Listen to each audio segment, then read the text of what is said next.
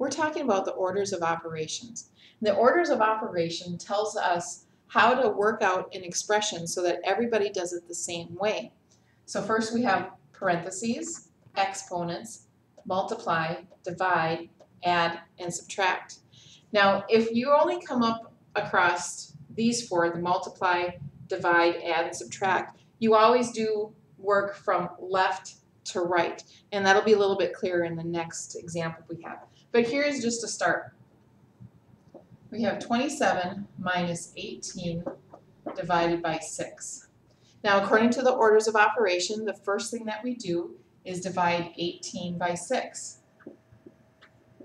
And I know that that is 3. So I rewrite the expression 27 minus 3.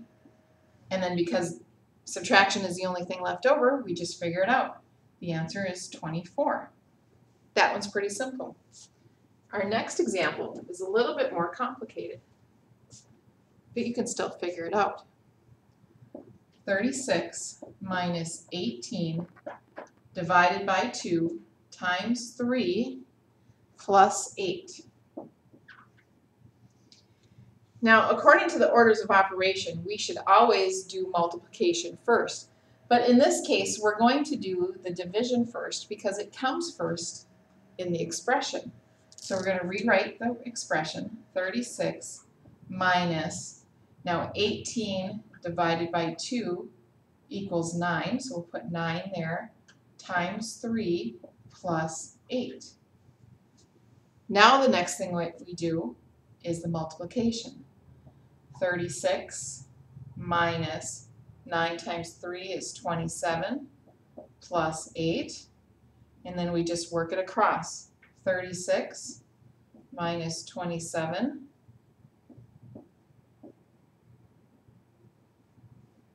9 plus 8, which equals 17.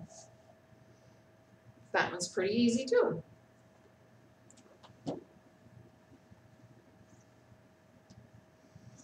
Here's one with an exponent in it. 5 plus 6 squared times 10. So according to our orders of operation, we're going to do the, one, the number with the exponent first. So we get 5 plus, and this means 6 times 6, which equals 36. 36 times 10 and then we do the multiplication. 5 plus 360, and then we add that together, 365.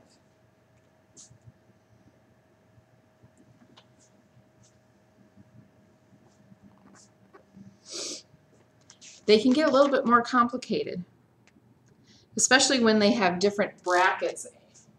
So here's one with a bracket and a parentheses. Don't worry, you guys can figure this out. 4 plus 12 divided by 4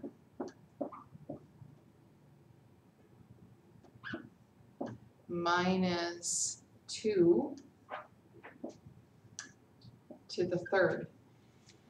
Now the first thing that I would do when I see this, I would look at this exponent because exponents is one of the first things that we do.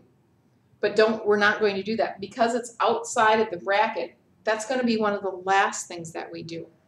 So the first thing that we're going to do is the parentheses. And within the parentheses, we have a division problem.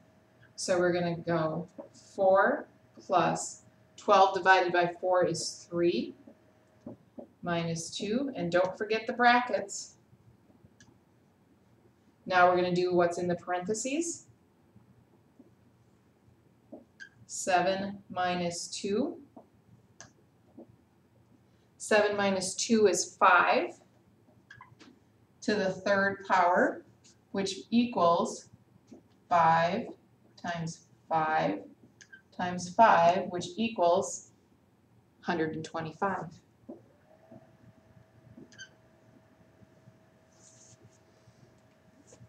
So that's how you do the orders of operations.